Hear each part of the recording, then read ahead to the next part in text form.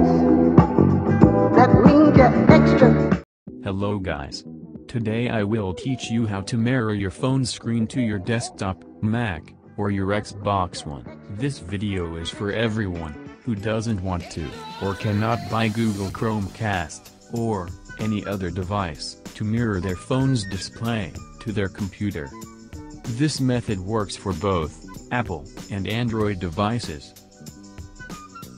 Let's get right to it then. You need to download an application called AirServer. The download link has been provided in the video description below.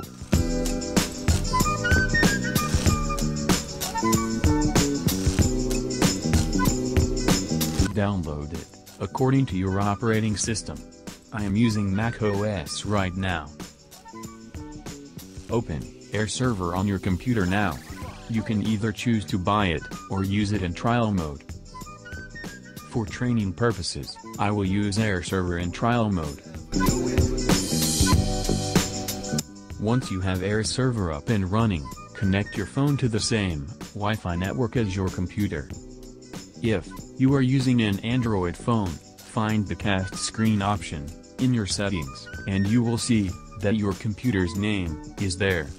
If you are an iPhone user, go to AirPlay, and you will see that your computer's name will be there.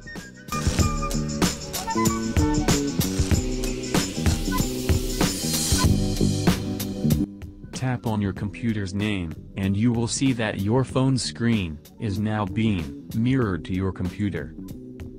This works for both Android and Apple devices, and it does not require any additional hardware.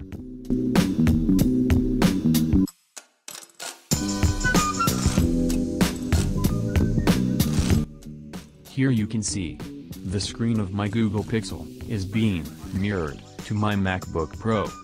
If you want to do the same on Xbox One, download the AirServer application from the Microsoft Store on Xbox One. The link to the Xbox One Store application is also in the video description below. The Xbox One application, unfortunately is not available for free. This is a very quick and easy method to mirror your phone screen to your computer. And it works for both Apple and Android phones. If you have any questions, please ask them in the comment section below. Hit the like button, if this helped you.